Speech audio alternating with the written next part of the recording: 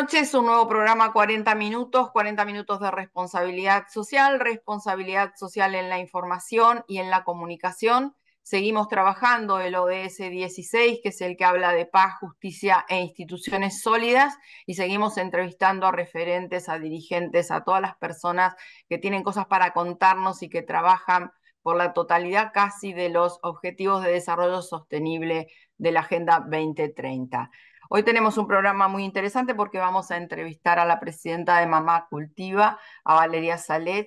Valeria, además de ser impulsora de la ley de cannabis medicinal, es autora de un libro que se llama La historia de Mamá Cultiva. Ella es activista por la legalización del cannabis y los derechos de las mujeres y las disidencias. Mamá Cultiva sabemos que es una organización sin fines de lucro, embanderada al frente de un movimiento de lucha por el acceso y la educación sobre el tema del cannabis medicinal eh, y fueron impulsores de la ley sobre la temática que se sancionó en el año 2020. Vamos a hablar de todos estos temas con nuestra interesada. La organización nace en el 2016 con la necesidad de muchas familias muy desesperadas por encontrar una solución eh, o alternativas terapéuticas vinculadas al, tratamiento de enfermedades como la epilepsia y el cáncer. Esta organización brinda además de eh, talleres, cursos, seminarios que abordan el tema tanto del autocultivo como de la información necesaria para tomar este tipo de decisiones. En los últimos años hubo estos avances legislativos que comenté, eh, pero desde que asumió el gobierno de Miley se están encontrando ya con muchas trabas para autorizar los cultivos y esto se traduce en una clara vulneración de los derechos a la salud y a una mejor eh, calidad de vida. Eh, voy a presentar a Valeria Salet, que como dije es la presidenta de Mamá Cultiva. Valeria, buenas noches, ¿cómo estás? Hola, ¿qué tal? Buenas noches. Qué buena intro que hiciste. Ya dijiste todo, me voy. Qué linda. No, tenemos muchísimo para conversar, muchísimo. Y yo diría que antes de, adentrarnos en esto que mencioné como el contexto actual de lo que están pasando todos los que cultivan eh, cannabis hoy en la Argentina, me gustaría que nos cuentes eh, un poco eh, por qué cultivás y de qué se trata tu historia para que nuestros televidentes puedan contextualizar desde dónde arrancaste, ¿no? tu lucha por este tema. Bueno, em, la realidad es que arranqué porque no me quedó otra, digamos. Eh, yo vi un día hace muchos años que en Estados Unidos una mamá, vi en Facebook un video de una mamá que su hija de 12, 13 años tenía una convulsión, la mamá salía corriendo, se ponía algo en el dedo, se los brotaba por la encía y frenaba la convulsión. Y no existe medicación alopática que pueda frenar una convulsión y dije, bueno, ¿qué es esto? Eh, le hablé a la mamá y em, le conté que yo tengo un hijo con epilepsia, que quería enterarme de, bueno, qué, es esto que, que ella estaba usando. Eh, me contó que, es, que era marihuana, que era una resina de cannabis que le preparaban en, eh, bueno, en un en Colorado, creo que era, bueno, en un estado donde ella no vivía, sino que ella tenía que cruzar varios estados para ir a buscar eso, volver y que, y que tuviera, tener para la nena, me contó también que desde que usaba eso tenía menos convulsiones. Y bueno, acá no, estoy hablando del año 2013, ¿no? 2014, acá todavía ni cerca estábamos de, de, esto, así que me puse en contacto eh, con organizaciones canábicas, me contaron que sí, que hay un aceite que se hace, que bueno, y empecé a, estudiar y a saber un poco del tema hasta que finalmente en 2014 empecé a usarlo con mi hijo, que en ese momento tenía 8 años, eh, este año cumplió 18, increíblemente, eh, y, me, y me mejoró la, diferencia entre mi hijo con y sin cannabis es abismal, es realmente otra persona, ha, mejorado mucho su calidad de vida, redujo sus convulsiones, eh, está más atento, tiene una mirada, no, se comunica mucho más, es un nene sin lenguaje, con lo cual es súper importante que haya una sustancia que le permita comunicarse de alguna manera.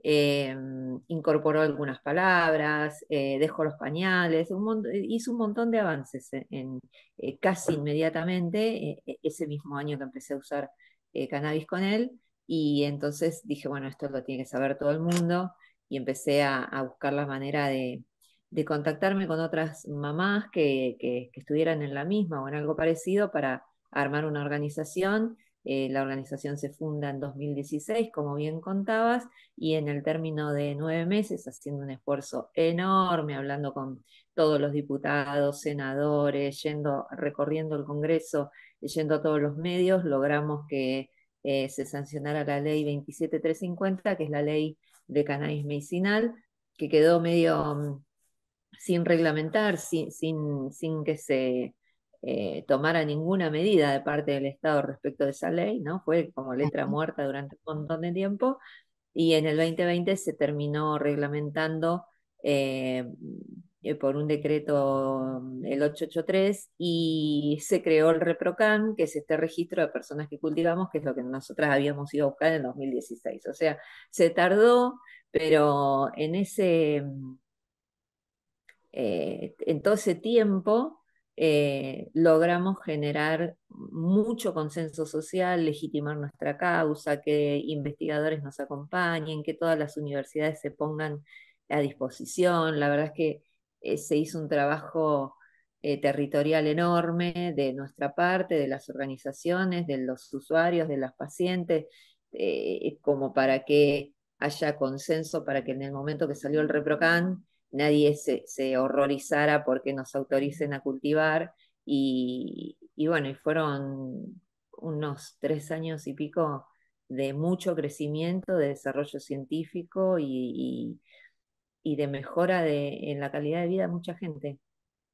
Y estamos hablando claramente de un tema de salud pública, que por ahí todavía al principio, un poco como contás vos, no estaba ni siquiera desarrollado, ni siquiera había avances investigativos en nuestro país, y entonces ustedes se, enfrentaban, me imagino, con persecución, con criminalización de todo aquel que cultivara cannabis de forma eh, doméstica, digamos, ¿no? Justamente para satisfacer esto que vos decís, mejorar la calidad de vida de un montón de chicos que estaban parecidos o igual a la situación de tu hijo. Sí, lo que pasa es que el error me parece que está en estigmatizar la sustancia, ¿no? Porque eh, cualquier sustancia usada de manera abusiva mm, puede llegar a ser peligrosa, incluso los celulares, qué sé yo. Eh, cualquier... Eh, es, medio mm, tirar los pelos, culpar a una planta de algo, la planta es una planta, es, inofensiva, ¿no? no te puede dañar una planta. Y para que no te dañe y usarla responsablemente hay que tener mucha información.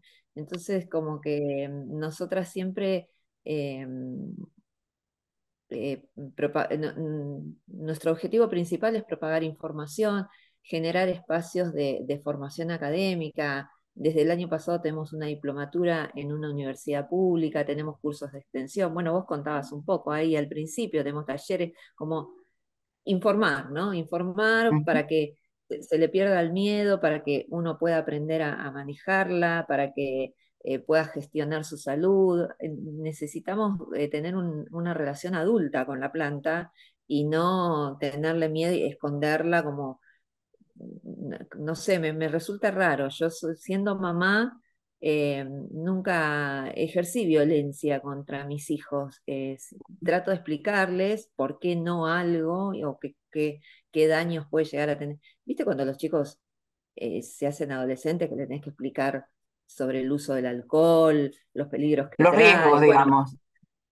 Claro, es como, bueno, mira, esta planta funciona de esta forma, sirve para esto, para aquello, es una planta medicinal, nadie juega con, los paracetamoles, ¿entendés? Entonces, pues, si uno eh, lo usa responsablemente, no tendría que haber problema. Y para usarlo responsablemente hace falta que haya información. Para que haya información hace falta inversión en ciencia, en, educación, eh, promover estos espacios eh, de, comunión entre lo que sabemos quienes estamos en territorio y la academia, ¿no? Es como buscar ese, ese esos puentes de la sabiduría que quedó entre quienes resistieron la prohibición y resistimos y usamos la planta y la, eh, no solo la usamos, sino que la conocemos como nadie, la cultivamos, conocemos sus variedades, sabemos que, para qué sirve, cuáles van,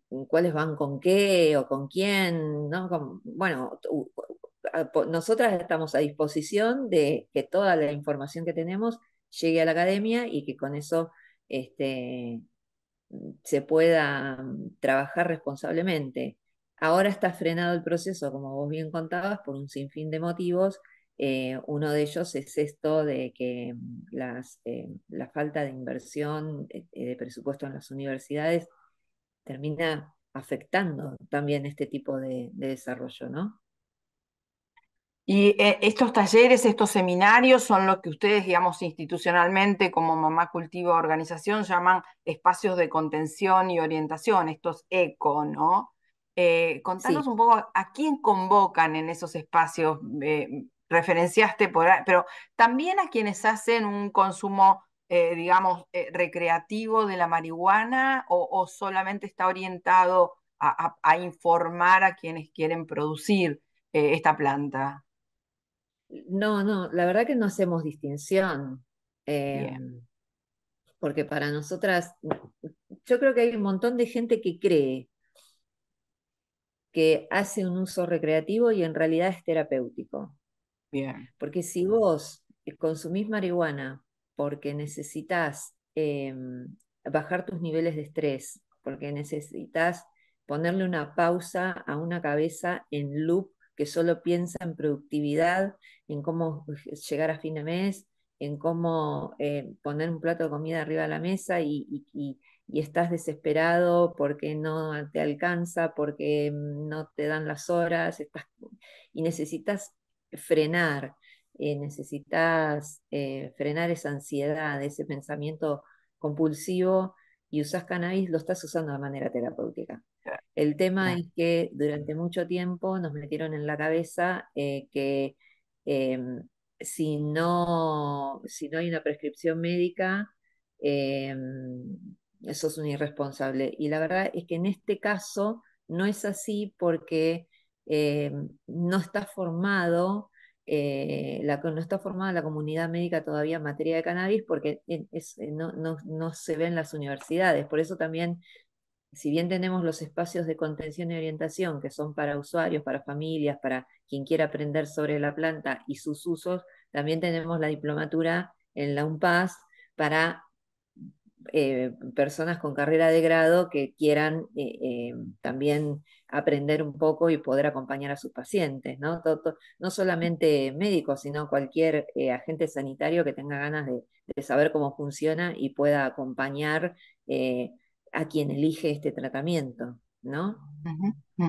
Y Valeria, entiendo que ha surgido, si se quiere, una cierta desinformación, incluso apoyo de campañas mediáticas en contra de, la producción de cannabis a partir del decreto reglamentario de la ley de cannabis.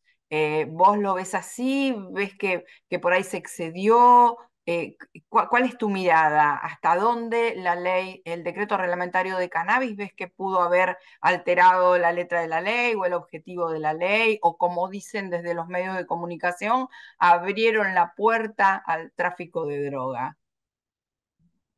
No, en todo caso lo cerraron, porque una persona que cultiva para sí misma deja de comprarle a, un narco. No, eh, no, la, reglamentación la hicimos eh, nosotras, en conjunto con ANMAT, con las universidades, con, eh, digamos, el Ministerio de Salud, que estaba a cargo de Ginés González García, armó una mesa gigante, ni entrábamos en la mesa, era una mesa ovalada con todas las organizaciones, con el CONICET, con las universidades, con INACE, con ANMAT, con ANLAP, éramos, pero no sé qué cantidad de gente, y fueron arduas horas de trabajo para crear este, este registro, em, e, entendiendo la necesidad de que hay un montón de personas pidiéndole al Estado ser legales. Entonces, cuando, cuando una persona está dispuesta a poner eh, sus datos personales, sus datos sensibles a disposición del Estado, porque quiere tener un amparo legal para lo que hace, porque está convencida esa persona de que lo que hace es por su salud o por la salud de los demás, el Estado no le puede, no le puede negar la posibilidad. En todo caso, puede auditar que, que mm, lo que está declarando sea así, pero, pero cercenar no, no es una opción.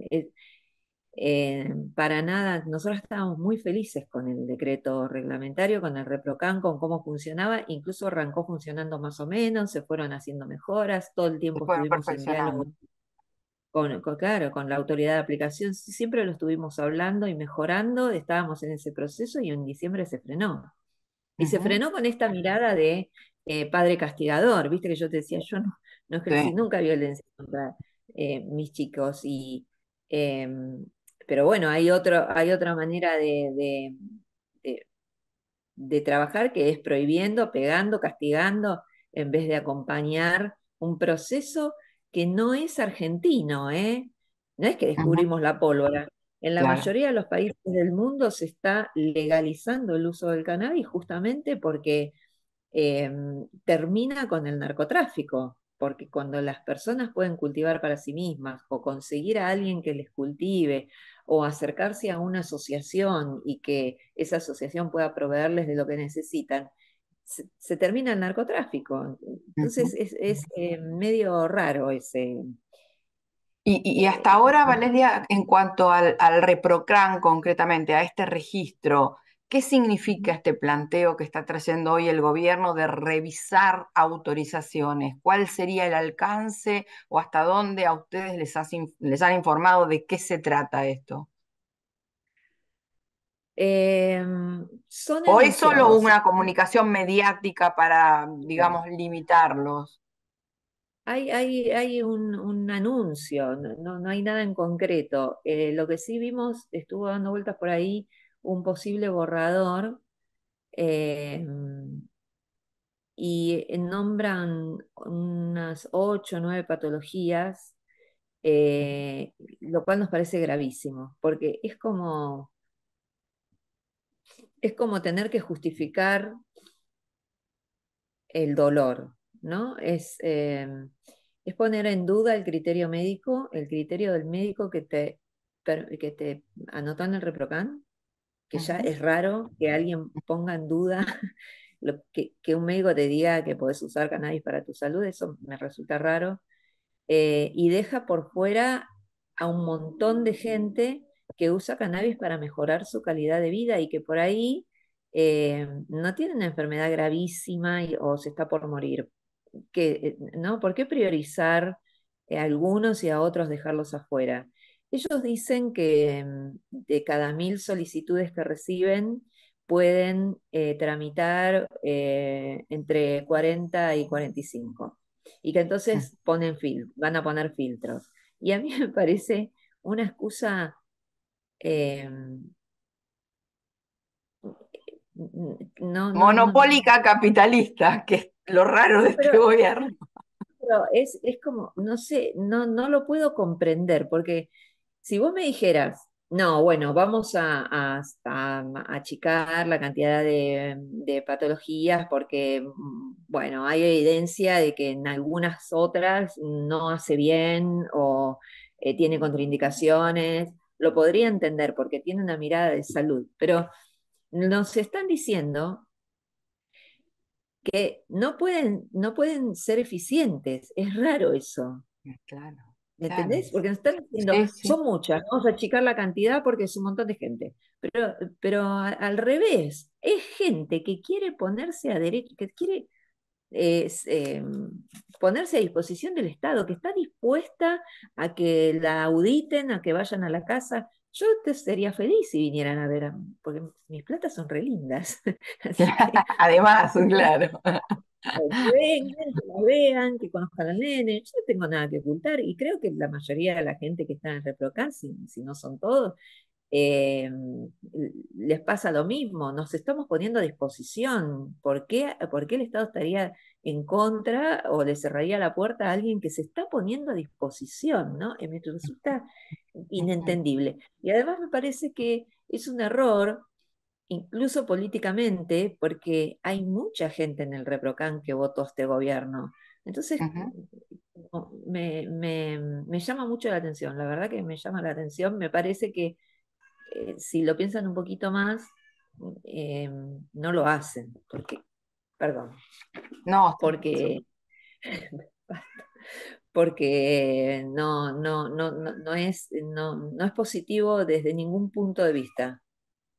Sí, bueno, pasa también que muchos temas de salud pública, como es este claramente de información sobre salud pública, incluso de justicia, ni siquiera se han debatido durante, digamos, el, el periodo eh, preelectoral, ¿no? Durante las campañas políticas, con lo cual tampoco nadie sabía.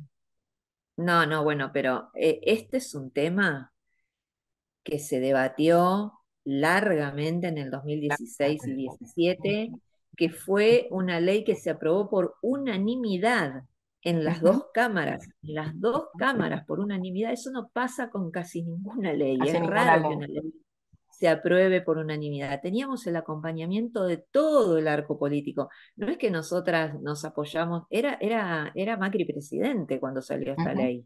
Eh, no es que nosotras nos apoyamos en unos u otros más, no, no, nos acompañó todo el mundo, desde la izquierda hasta la más conservadora derecha, pero porque entendían que era una cuestión de salud y que, y que la gente que se iba a poner a disposición del Estado, un narcotraficante no se anota en el ReproCan porque además no, el reprocante le permite cierta cantidad de plantas. Sí, una cuestión de volumen, claramente. Claro, ¿qué voy a narcotraficar yo con nueve plantas en mi casa? No, no, no, hace ninguna diferencia, ¿entendés? Entonces, como, eh, em, por eso te digo, para mí que es un error, incluso político, que, no, no, están teniendo en cuenta eso, que hay un consenso social, la sociedad toda nos acompaña. Nosotras lo sentimos en la calle. En el 2016, cuando ni bien arrancamos, íbamos por la calle con nuestras remeras, con la chalita y nos gritaban porreras, no sé, faloperas, no sé qué. Y ahora nos saludan, nos aplauden, nos piden aceite.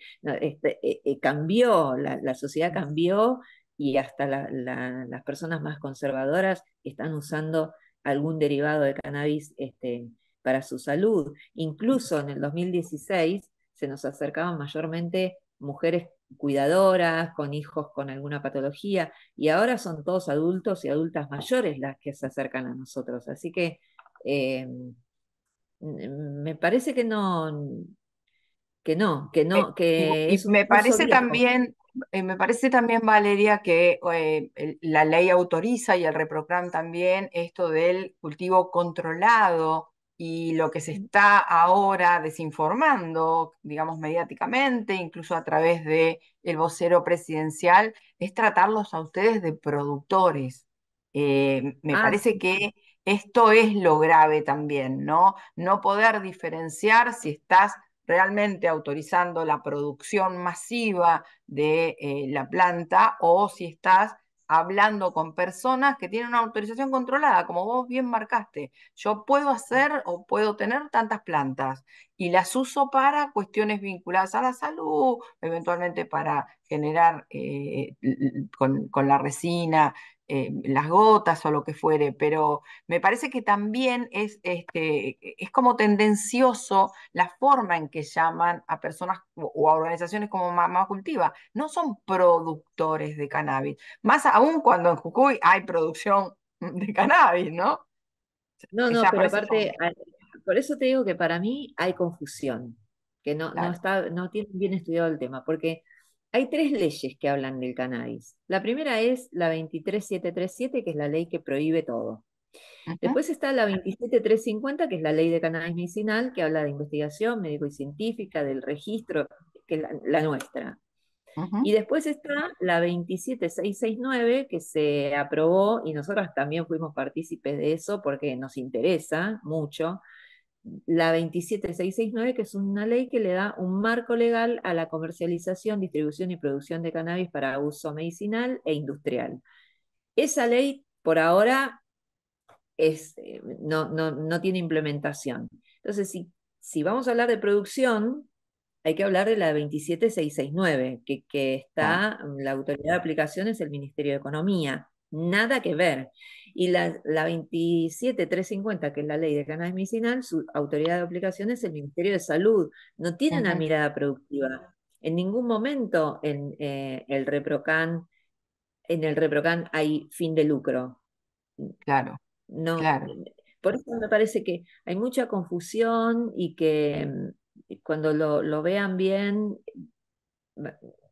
Reaccionarán. Esperemos que reaccionen y empiecen a pero yo creo que no, no, no va a terminar saliendo porque no, no sería inteligente eh, ir para atrás en, este sentido.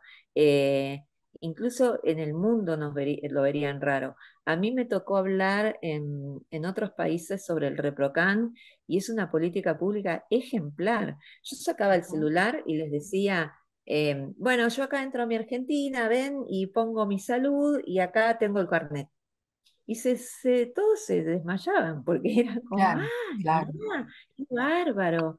Y claro, yo esto se lo muestro a la policía y acá tienen todos mis datos y no sé qué, y no lo podían creer. Eso era una, no existe en ningún lugar del mundo un registro, y además se podría usar para tantas cosas buenas, el poder estudiar la estadística de quiénes están anotados, de qué edades, de qué géneros, para qué.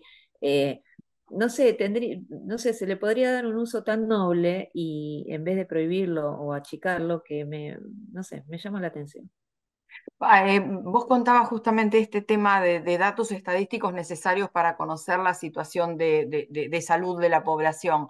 Eh, viste que a partir del reprogram eh, en periodos anteriores, no estoy hablando de este gobierno, se haya podido volcar esa información y tengamos efectivamente datos ciertos, ustedes pueden usarlos también para trabajar en talleres y en capacitaciones, o no ha habido nada de eso. No se avanzó. No, no, porque, no, no, porque los datos que nosotros le damos a la autoridad de aplicación están protegidos por, por Bien, por la ley de datos. Ah, sí y no nadie puede acceder ahí, pero sí podría eh, el Ministerio de Salud actuar desde ahí con alguien con, voluntad de hacerlo, ¿no? De decir, claro, sin vulnerar, la, digamos, la, ley de datos personales, sí podría estadísticamente contarse y avanzarse sobre, digamos, las bondades de la aplicación del sistema, ¿no? O, las bondades de sostener un sistema de esta característica había en varias provincias proyectos productivos y proyectos de investigación y estaban desarrollando diferentes variedades de plantas y también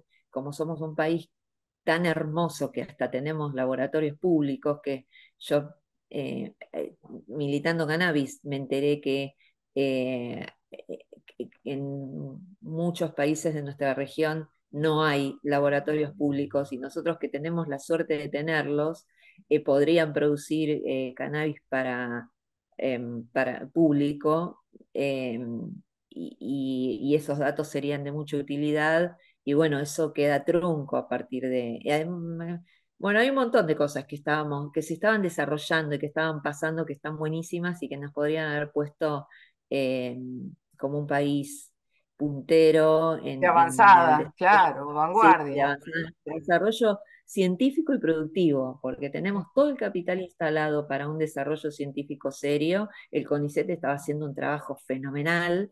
Eh, incluso eh, crearon la empresa Cannabis CONICET, que había tenido su primer variedad, eh, desarrollaron una... Sí, incluso industrializando el cáñamo también, ¿no?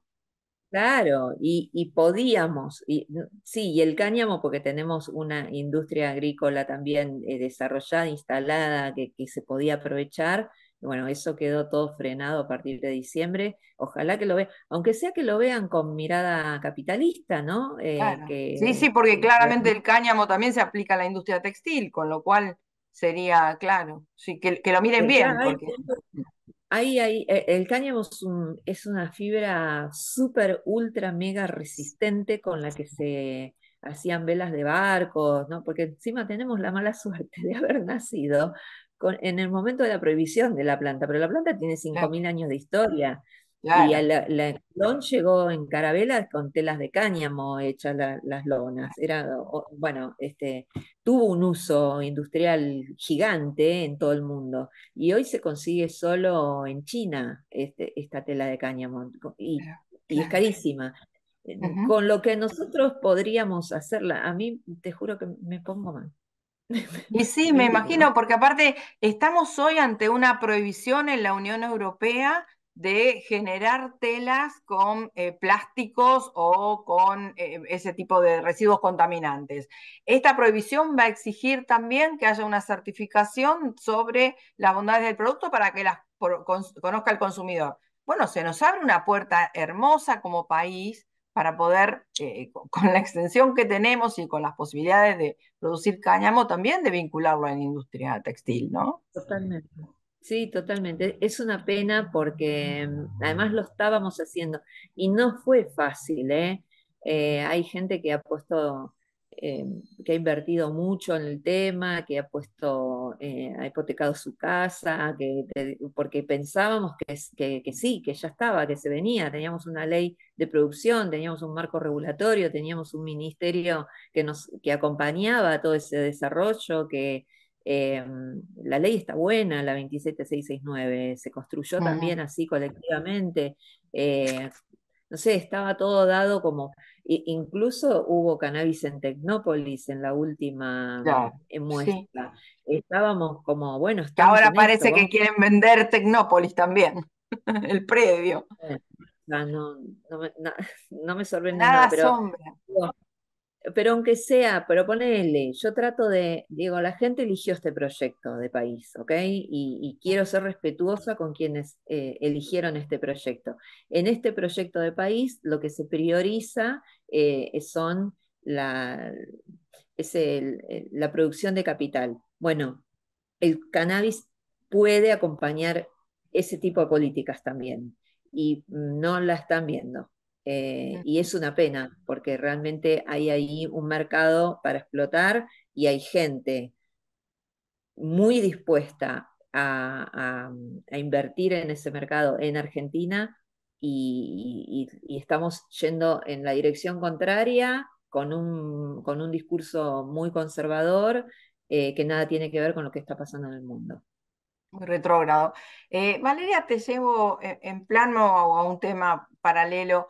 Eh, todos los años se hace la Marcha Nacional de la Marihuana eh, y el año pasado lo que se buscó o lo que se planteó como consigna era la reforma a la ley de drogas. ¿Participaste? ¿Cómo lo estás viendo? ¿Cuál es el planteo? También por un tema de información pública, ¿no? cuál, es tu mirada sobre, sobre esta idea? La marcha convoca a todo el movimiento canábico de Argentina que, viene desde hace muchos, muchos años luchando por la liberación de la planta para todos sus usos, por un marco regulatorio amplio que incluya a todo el mundo. Eh, nosotras obviamente acompañamos, eh, nuestra mirada es un toque más estratégica, para nosotras es por pasos, eh, somos mujeres, así que entendemos eh, las cosas de otra manera, mm, eh, qué sé yo, para, para nosotras era importante darle prioridad al, uso en salud, al uso industrial y que eso decante en una aceptación mayoritaria de la planta como para avanzar en la legalización total. Así que nosotras ah, estamos acompañando siempre ese reclamo porque de verdad creemos que la planta, a la planta no hay que estigmatizarla. En todo caso, habrá que controlar o, acompañar a quienes quieran usarla para que lo hagan de la mejor manera posible. Eh, es siempre el primer sábado de, mayo, así que este 4 de mayo estaremos ahí acompañando a nuestros compañeros, sí, en el reclamo, que, que entendemos que, eh, bueno, eh, lo vamos a sostener durante bastante tiempo, parece. Sí, claro, ¿no? Y, es, retroceder varios, varios escalones, ¿no? Varios pasos, una cosa difícil. Y este año imagino que también el planteo va a ser porque Alemania recientemente legalizó el cannabis con fines recreativos, con lo cual no, sé si pudiste profundizar en esa normativa o si están teniendo ya opinión formada sobre eso, pero, pero entiendo que puede llegar a ser uno de los temas de esta movilización, ¿no? de, este, de este encuentro, eh, de esta marcha nacional. Alemania es una ficha más de todas las fichas que se van dando vuelta, porque es Alemania, Estados Unidos, Canadá, Uruguay, como que, viste, de a poco toda, eh, es que conviene legalizarlo, conviene, conviene, incluso para luchar contra el narcotráfico, como bien decía Pepe Mujica, ¿no? Es como, bueno, eh, si nosotros legalizamos, eh, se termina el narcotráfico, es así, realmente. Sí, es así. sí, es así. Pasó con la ley seca, con lo cual la historia te muestra que es así. Sí, y, pasó con la ley seca con una sustancia peligrosísima. Nosotros estamos hablando de cannabis, no existe dosis letal, no hay nadie que se haya muerto de una sobredosis de cannabis y además hace bien a la salud y bien usado puede ser una herramienta potentísima, digamos. los médicos y los promotores y promotoras de salud que se van formando en cannabis están enamoradas de la planta porque eh, resuelven cosas que durante años no pudieron resolver un movimiento involuntario, ya sea por Parkinson, Huntington, por temblor esencial, por lo que sea, que lleva años y de repente vos con esta sustancia en semanas lo controlas, es como, dame la pancarta, ¿a dónde hay que ir a pelear por esto? Claro. Bueno, eh, va terminando nuestra entrevista, que fue realmente muy, muy maravillosa, buena en el sentido comunicacional, porque vos sos buena comunicadora, pero me gustaría que nos dejes como un último mensaje para entender, para valorar el esfuerzo enorme que han hecho y la necesidad de que todos se sumen a entenderlo eh, bajo, bajo la mirada, bajo el paraguas del trabajo tan, tan importante que tiene Mamá Cultiva en la Argentina. Bueno, miren, si la planta resistió durante más de 80 años de prohibición eh, y tanta gente fue, estuvo dispuesta a ir presa, a entregar su vida en función de esta planta, es porque tiene algo. Es muy valiosa, es una planta muy valiosa y que mm, ninguno de nosotros está exento de necesitarla. La vejez no viene sola, viene con achaques y la verdad es que tener una aliada, eh, eh, una herramienta terapéutica aliada como es la planta de cannabis, con todo lo que nos puede dar sin los efectos adversos de la medicación alopática, no se lo van a querer perder, ya sea porque mm, nos entienden y hay empatía hacia lo que nos pasa a nosotras, o por egoísmo, por lo que les pueda pasar más adelante, acompáñennos, eh, no se van a arrepentir, no tengan miedo, estamos acá para acompañarles. Eh, mamacultivaargentina.org para quienes quieran ponerse en contacto con nosotras. Hace muchos años que venimos haciendo esto y lo hacemos con la convicción de que mm, el derecho a la salud em, no se negocia, no se vende y, no se copta por las empresas. Eh, nada, eso, acompáñennos que, que, lo hacemos desde un lugar muy amoroso, ¿no? No es un capricho ni, ni mucho menos una imposición. Les pedimos empáticamente que nos acompañen eh, para mejorar la salud no solo nuestra, sino de nuestra comunidad. Enormes gracias, Valeria. Buenas noches. A ustedes. Este año fórmate en responsabilidad social. Hoy el conocimiento solo no alcanza. En EduForce te ayudamos a comprender la realidad y te damos las herramientas para llevar la responsabilidad social al interior de tu organización. Desde un proyecto hasta una estrategia integral, te enseñamos a diseñarlos, ejecutarlos, a medir y comunicar los resultados. En nuestra plataforma digital puedes encontrar textos, vídeos y participar de clases en tiempo real con el profesor y otros alumnos. Lo haces a tu ritmo, desde la comodidad de tu casa. Llevamos más de 16 años formando nuevas generaciones de líderes comprometidos con el desarrollo sostenible, y ahora también en perspectiva de género. Ingresa en eduforce.com.